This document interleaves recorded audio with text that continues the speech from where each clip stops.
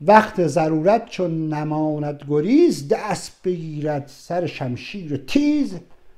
حالا عربی. ملک پرسید چه می‌گوید؟ پادشاه پرسید که چه می‌گوید؟ یکی از وزرای نیک محضر گفت ای خداوند همی گوید که ول کازمین الغیظ ول آفین عن الناس. ملک را رحمت میگه که ایشون گفتش که خشم تو کازمین خشم, خشم تو بخور و آدم خوب آدمیه که مردم میبخشه. و, آف... و عافیت میده یعنی بخشش می‌کنه. مهربون رحمان رحیم به مردم.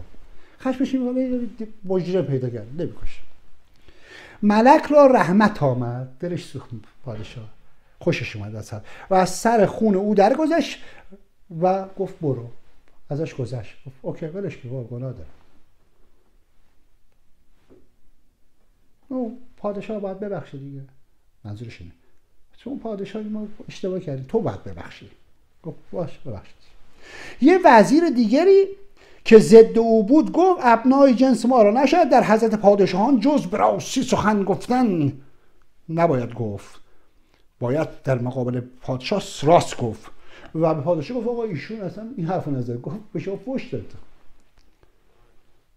گفت چی گفت؟ گفت مثلا گفت مادرتون فلان. اون آقا وزیره داره دروغ میگه.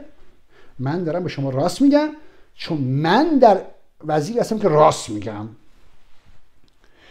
هر که شاه آن کند که او گوید حیف باشد که جز نکو گوید.